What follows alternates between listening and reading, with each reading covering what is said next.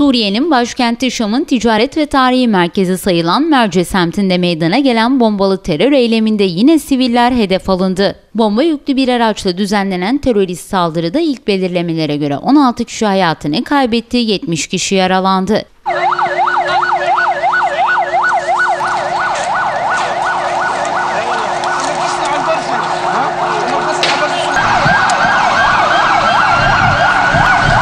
Suriye resmi haber ajansı Sana, başkent Şam'ın Merce bölgesindeki İçişleri Bakanlığı binası ve Şam Tower alışveriş merkezi yakınlarında meydana gelen patlamada 16 kişinin hayatını kaybettiğini ve 70 kişinin de yaralandığını duyurdu.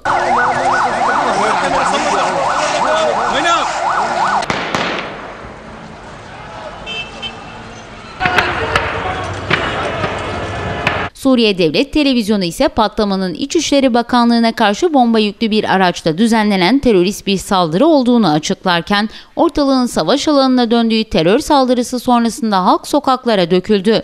Teröristler aleyhine slogan atarak tepkilerini dile getiren Suriye halkı Devlet Başkanı Beşar Esad'a da sahip çıktı.